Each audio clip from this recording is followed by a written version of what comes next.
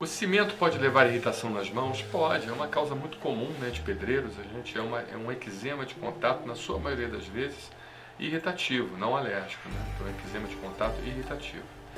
Né? Então, mas pode ser também alérgico, um eczema de contato alérgico, é mediado por linfócitos, né, linfócitos T, e que de certa forma você precisaria fazer então um teste de contato. Mas na grande maioria das vezes esse tipo de reação é irritativo e o único tratamento não, é, é, não, não trabalhando mais com essa substância.